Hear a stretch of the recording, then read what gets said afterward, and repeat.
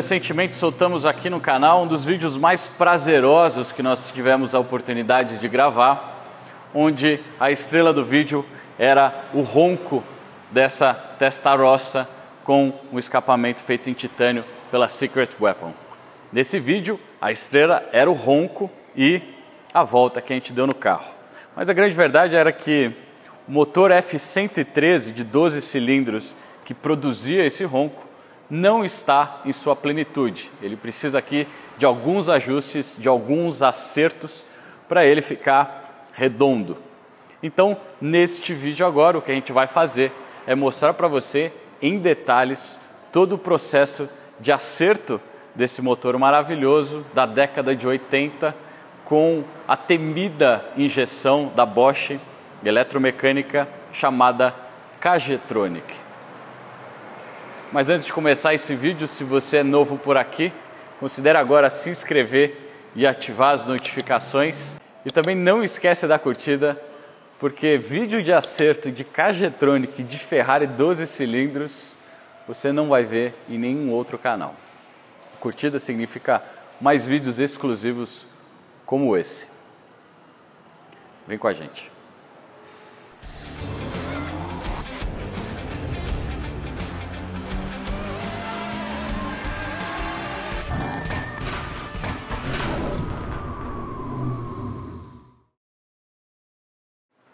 Bom, então vamos lá. A gente recebe a ruiva ou a testa para os íntimos aqui. E qual é o problema desse carro? O principal é a questão de mistura. Ele está extremamente rico. Isso desde o início, desde a primeira vez que a gente recebeu esse carro todo original e a gente deu algumas passagens lá no dinamômetro.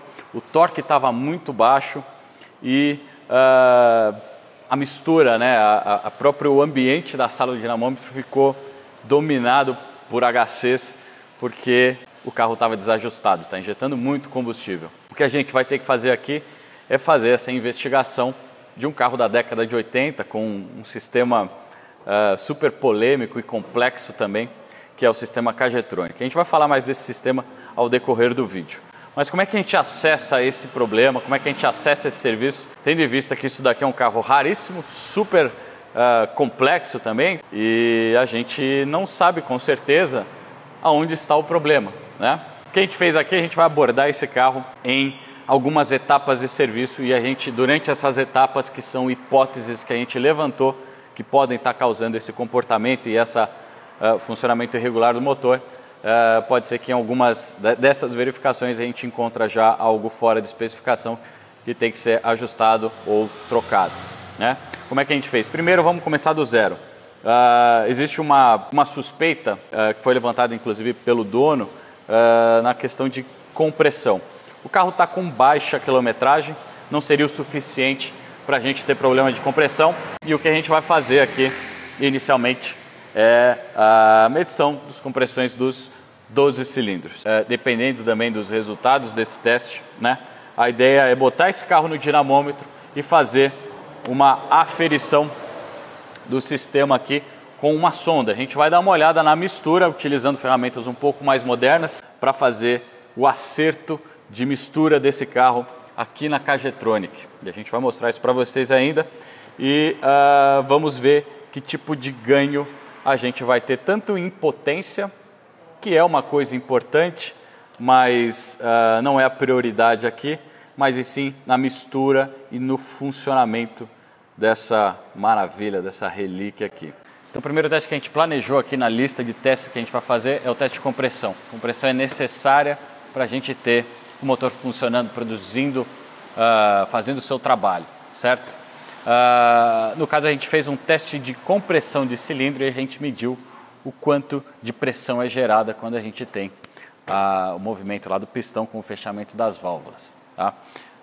o que a gente percebeu aqui é que na primeira bancada existe uma divergência de até um bar e meio de, entre os cilindros, mas ainda dentro do que a gente consideraria como uh, o mínimo de compressão necessária para a gente ter o motor funcionando mais redondo. Enquanto na segunda bancada também a diferença chegou a ser só de um bar, certo?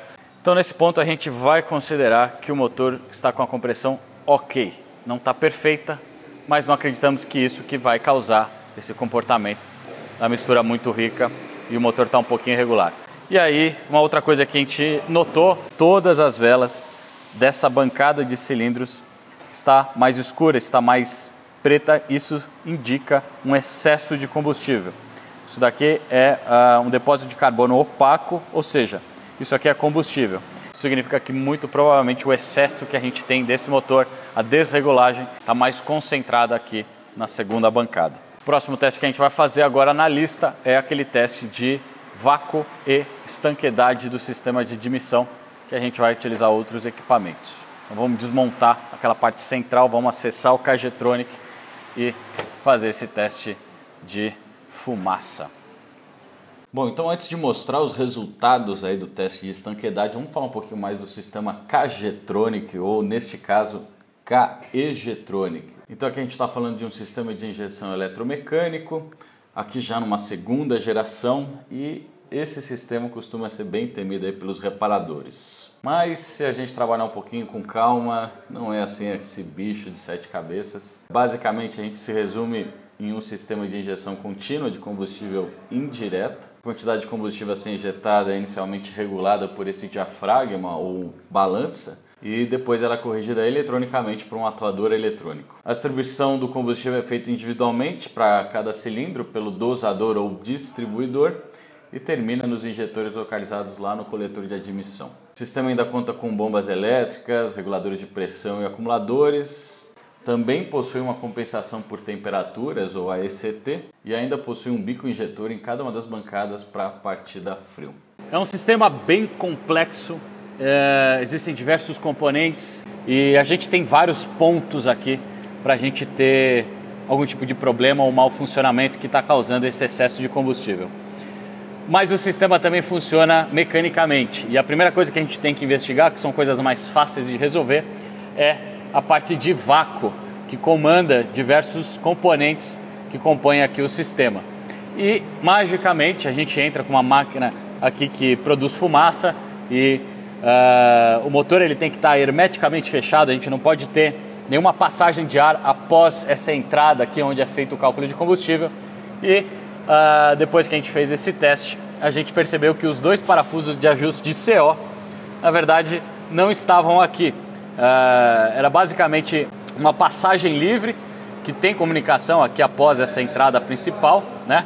Esses são parafusos de ajuste aqui do nível de CO na marcha lenta e eles não estavam aqui. Então, basicamente, o que a gente tinha aqui era uma grande entrada de ar. Então, o motor acabava calculando a entrada de ar aqui pelo movimento desse componente, mas a gente tinha uma segunda entrada, a famosa entrada de ar falso, aqui pelos parafusos de ajuste de CO, né? E, bom, o que a gente fez aqui foi repor os parafusos ainda sem fazer o ajuste aqui uh, da lenta, né? E a gente fez a equalização das duas bancadas desse motor, né? Uh, com alguns ajustes que a gente tem aqui embaixo. E aí, só o som do motor, com esse pequeno ajuste que a gente fez. A gente também testou diversos outros componentes, substituímos várias mangueiras de vácuo aqui, né? Mas só esse ajuste que a gente fez aqui, uh, já o ronco do motor já tem um, um som completamente diferente. Ele está mais liso, está menos áspero. Isso pode significar que só da, desse pequeno ajuste que a gente fez aqui, os parafusos, a equalização e uh, os componentes aqui de, de condução do vácuo já podem ter resolvido parte do ou totalmente do problema. Então o que a gente vai fazer agora é botar esse carro no dinamômetro. A gente também vai monitorar a questão de mistura aqui na saída do escapamento e vamos ver o que, que acontece na simulação lá no dinamômetro. Vamos lá.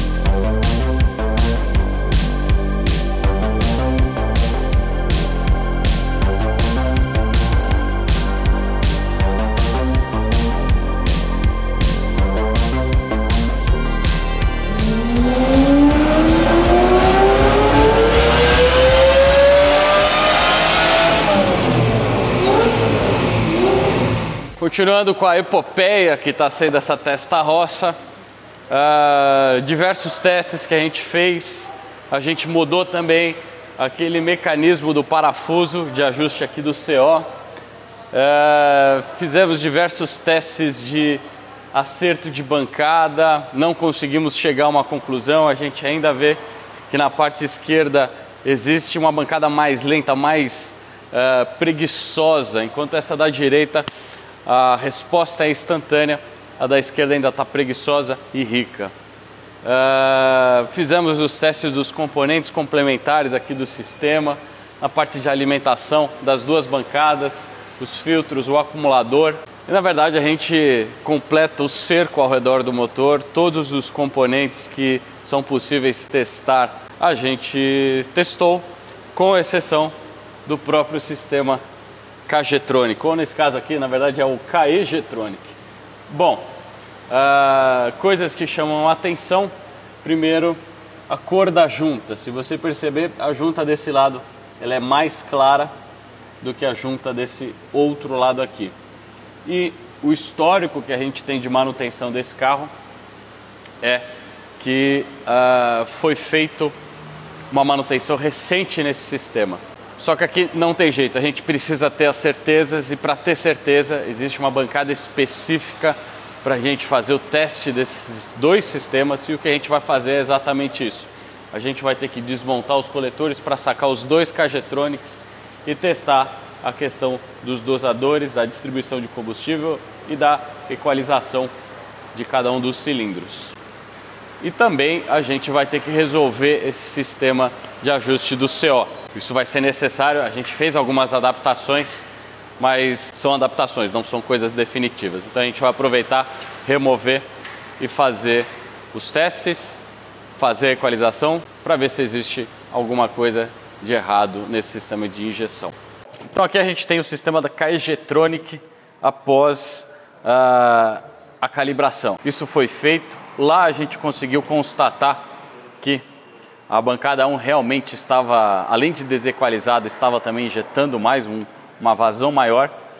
A bancada 2 também estava desequalizada, mas menos do que a primeira, e isso corresponde ao nosso, à nossa suspeita. O que a gente estava vendo era que essa bancada estava com uma queima mais rica. E a gente nunca ia conseguir regular isso, na verdade, porque é um problema interno, certo? E aí só com equipamento para fazer esse tipo de reparo. Outras coisas que a gente notou é que a fixação aqui do dosificador estava com os parafusos espanados, inclusive existe até um jogo aqui. Foi feito esse reparo, foi feito um outro reparo também na parte de ajuste do, do CO. Agora a gente está com o sistema pronto para a gente montar e voltar a fazer ou tentar fazer aquela calibração fina do conjunto e ver o que acontece. Muito provavelmente aqui a gente já tem o problema solucionado, mas para a gente ter certeza é só na prática mesmo, tem que ser um pouco pragmático nessas horas. Então a gente vai reinstalar e vamos fazer esses testes. Vamos instalar agora o sistema no carro e voltar a fazer as calibrações. Então vamos lá, primeiro acerto, regular a lenta. A lenta desse carro, de acordo com o manual, é alta, é uma lenta de mil. E realmente, quando a gente vem regulando a lenta, a gente percebe que ele começa a alisar com mil. Quando ele está abaixo, você dá aquela aceleração e ele volta para o regime de lenta. Se ele estiver abaixo de mil, ele geralmente morre. Então a gente conseguiu fazer a estabilização da lenta em 1000 RPMs, tem uma equalização das duas bancadas e agora é uma questão de ajuste fino e testes também. Estamos evoluindo bem. Nada mal.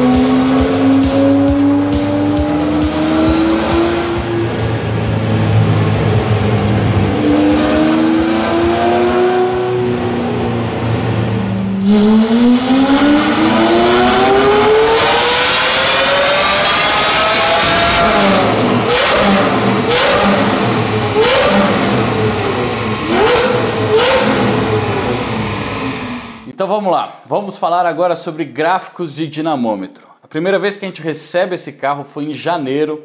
O carro estava um pouco irregular, para manobrar era uh, bem difícil, você tinha que ficar segurando o carro no acelerador. A gente passou ele aqui, veio fraco, e também quando a gente andava com ele na rua, a gente via que não era um carro lá dos seus 390 cavalos, que era o que a Ferrari declarava de potência original desse carro. O carro estava fraco mesmo. E uh, a melhor passada de janeiro, sem nada, sem mexer em escapamento, sem nada, foi essa daqui. O carro deu 231 cavalos de roda e 33 kg força de torque. Né? Bastante queda aqui embaixo e no dia a gente estava com uma correção bem generosa de 14%. Aí depois o carro vai, faz o escapamento e ele volta para cá sem ajustar nada, apenas com o escapamento instalado e a gente chega nessa curva agora em lilás. Dá para ver a diferença de torque grande, principalmente na parte mais de altas aqui. E a gente estava falando uh, de 308 cavalos e 38 kg força de torque, né? Essa foi a, a curva né, em comparação à curva original desse carro quando a gente recebeu ele pela primeira vez. E aí depois de todo esse serviço que a gente fez na Cajetronic, a gente chega nesse resultado aqui. Então o carro salta de 38 kg a força e vai para 45 kg a força e de 308 cavalos o carro foi para 331. Se eu comparar o antes e depois em original, a gente tem essas duas curvas. O carro sai de 33 kg a força para 45 e de 231 cavalos de roda com correção de 14%, foi para 331 cavalos de roda com correção mais modesta de 10% só. A correção está contra a gente aqui, mesmo assim a gente está falando de 100 cavalos de roda, com escapamento e um ajuste fino. Dá só uma olhada nisso. Aqui a 5,700, onde tem o pico de potência, o carro tinha 28 kg força e ele foi para 41 kg a força. Vamos ver como é que é isso na rua, né?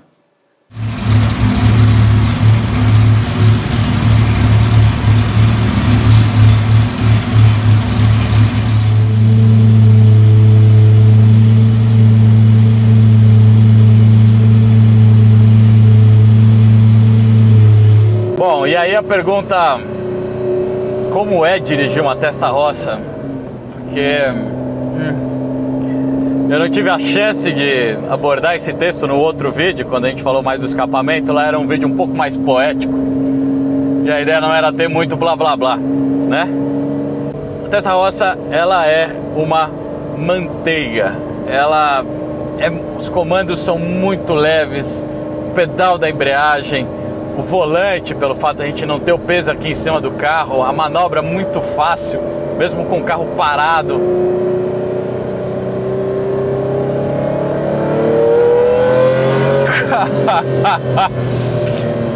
e esse câmbio grelha maravilhoso, ele começa a engatar melhor depois que ele está um pouquinho mais quente. Carro super leve, na mão, é um carro extremamente estável, talvez por esse footprint enorme que ele tem e o centro de gravidade um pouquinho mais baixo. É um carro que dá para usar no dia a dia, dependendo de onde você mora, obviamente, mas o carro é um GT de luxo mesmo, extremamente confortável, muito mais confortável que a Diablo, que a gente já gravou aqui no canal. Esse carro é mais utilizável principalmente por essa questão da embreagem aqui, sem manhas agora com a, com a, com a injeção bem acertada, não precisa mais segurar o carro para fazer manobra no acelerador, enfim. E aí depois vem a segunda pergunta, onde comprar uma testa roça? Esse carro aqui especificamente é do acervo da Legendary, a Legendary ela é uma loja especializada em clássicos como esse daqui, existem outros lá e dá para ter, dá para trazer uma testarossa uh, aqui no Brasil. E aí faço uma pergunta que eu vou deixar pro pessoal aí para deixar nos comentários no vídeo. Você teria aquela Porsche Turbo 2021, um dos carros mais fortes que a gente já dirigiu originais com pouca preparação e aquele ronco com o vídeo que a gente já soltou aqui no canal ou esta testa roça aqui?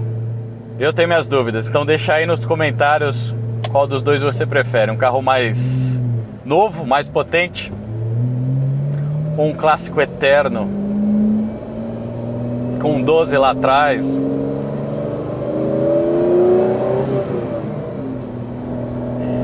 E esse e esse câmbio manual super utilizável. Deixa aí nos comentários, eu quero saber, hein? Lembrando também que não foi só a parte de injeção que a gente acertou nesse carro, mas esse carro tinha diversos detalhes. O próprio porta-luva com essa abertura eletrônica que não abria, o vidro uh, aqui do passageiro que estava com a máquina muito pesada. A gente tinha um vazamento de combustível lá atrás. Uh, teve a instalação do sistema de iluminação que a gente fez só para destacar aqui o escapamento da Secret. São coisas que dá para fazer, não é um carro que intimida e não precisa ter medo da manutenção desses carros. Pode contar com a gente. E a gente vai até o final, que nem a gente foi nesse projeto aqui, se é para resolver qualquer tipo de problema.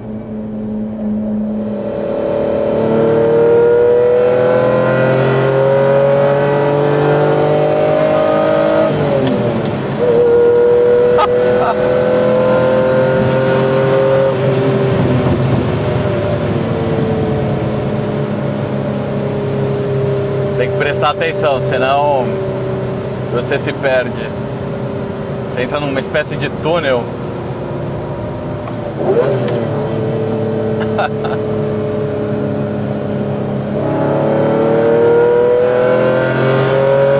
que você não quer sair.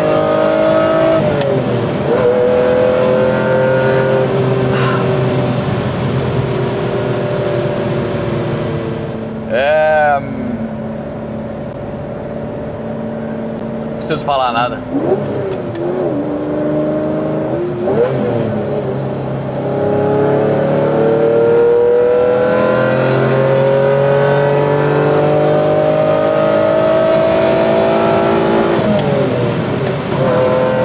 Ah! Então é senhores. Muito aprendizado nesse carro. Aqui acho que prova um pouquinho da abrangência dos serviços que a gente faz lá na Vanguard. Quando a gente se propõe a preparar um motor, a gente realmente consegue desenvolver as soluções, não importa a época. O princípio, na verdade, é sempre o mesmo. Esse aqui talvez seja um dos aprendizados do ano, um dos projetos do ano. Um resultado sublime, surreal, glorioso. São 330 cavalos de roda, a gente estima com uma pesa de 12%, mais ou menos uns 375 cavalos no atual setup.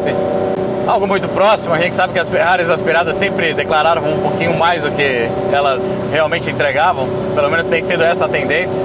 Curva de lambda também, mistura de combustível por volta de 91 em plena carga, extremamente lisa, prova de que a gente conseguiu acertar a injeção desse carro. Nada mal. Então é isso, senhores, missão cumprida. Esse vídeo fica por aqui. Eu sou o Guilherme e esta é a Avantgarde.